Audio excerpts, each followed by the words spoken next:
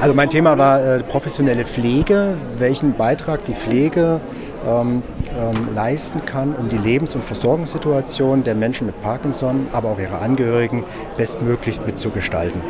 Weil wir eben aus Studien wissen, dass es oft Lücken gibt ähm, außerhalb des professionellen Gesundheitssystems, also gerade wenn die äh, Menschen wieder zu Hause sind oder wenn Fragen auftauchen, welche Hilfsmittel kann ich denn bekommen oder wer hilft mir denn, ähm, wenn ich eine Pflegestufe beantragen muss und so weiter, dass wir da wenig Kontakt haben und oft auch eine Angst besteht, wenn dann die Menschen wieder aufgrund von einer ganz anderen Gesundheitsproblematik in ein Krankenhaus müssen.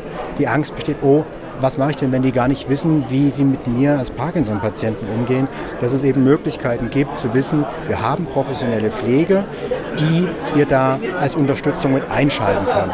Da gibt es beispielsweise eine Fortbildung zur Parkinson-Nurse. Das sind speziell Pflegende, die nochmal intensiv geschult wurden in der Begleitung und Betreuung Anleitung, Schulung, Beratung von Betroffenen, die aber auch ein Netzwerk haben mit anderen Pflegenden, mit anderen Fachärzten, wo eine gute Vermittlung und Vernetzung stattfindet, die sich aber auch zum Auftrag gemacht haben, genau in solchen Nicht-Fachabteilungen, Krankenhäuser, ambulante Pflegedienste, Schulung für andere Pflegende zu machen, wie sie eben Menschen mit Parkinson am besten begleiten und unterstützen können.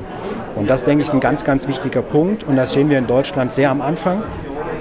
Ähm, wir haben aber gute Vorbilder im internationalen Vergleich. Und ich denke, da müssen wir sehr, sehr viel ähm, ja, anpacken, aber auch zusammen. Und deswegen ist auch die Zusammenarbeit hier mit der Selbsthilfegruppe, aber auch mit anderen Fachdisziplinen wie Neurologen extrem wichtig, hier professionelle Pflege als fehlendes Glied in der Versorgung mit aufzubauen.